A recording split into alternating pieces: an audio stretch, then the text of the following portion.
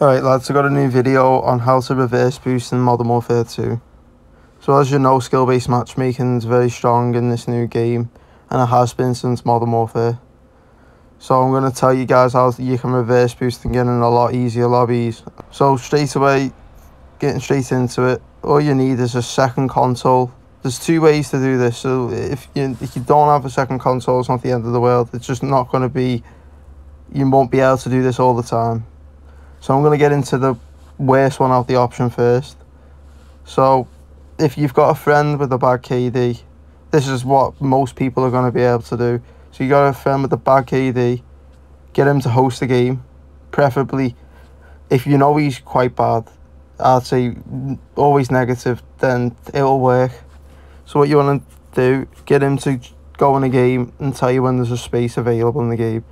You don't want to search for a game with him because the matchmaking in this game, and it has been like this for the past three cards, it will like balance it out. So you'll be getting not the newbiest of players, but they'll be a bit bit easier than your own lobbies. But I wouldn't I wouldn't advise it. Obviously, just try and join through the game session. That'll be the best way.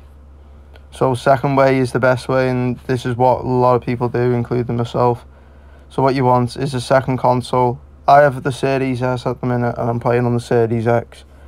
So it doesn't matter what console you have, it'll be a lot easier on if you have console because you can game share your other Xbox.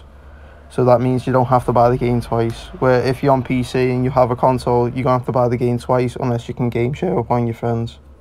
So what you want to do is load up the game on your bot account, but make a new account first. Doesn't matter what it's called, a new Activision, everything. So what you want to do is then host the game on your bot account get ready to join on your main account. Make sure the stats are also awful on the second account, not your main. You want to not kill yourself. You want to go around pretending to be a complete boss. Get one kill a game, maybe. Do this for around one to five games for good results. You want to make sure you only get like one kill. And like, literally like just go around shooting walls, shooting everywhere, just complete boss. If you want me to provide gameplay on how to actually play like the boss, I will.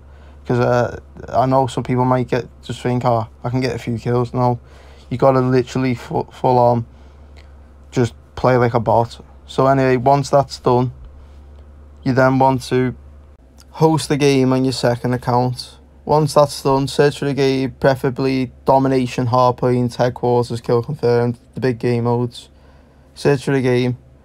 Then what you do is on your main account hover over join game on the if you're on Xbox do it through the Xbox. If you're on PC do it through the in-game. Doesn't matter what you do it as long as you're hovering over join game session.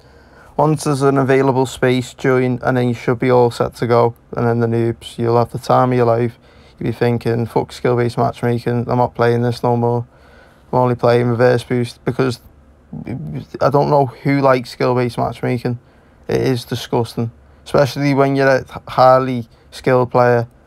It's just not fun, and it hasn't been since they've even brought it out, and it's here to stay.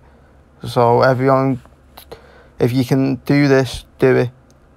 The more people that does it, hopefully one day skill-based matchmaking will be fully gone, and it'll be back to how it used to be.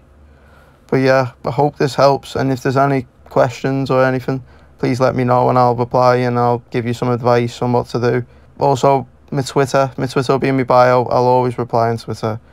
So if you want to stay connected, follow me on Twitter. I hope this helped. I'll see you guys in my next video.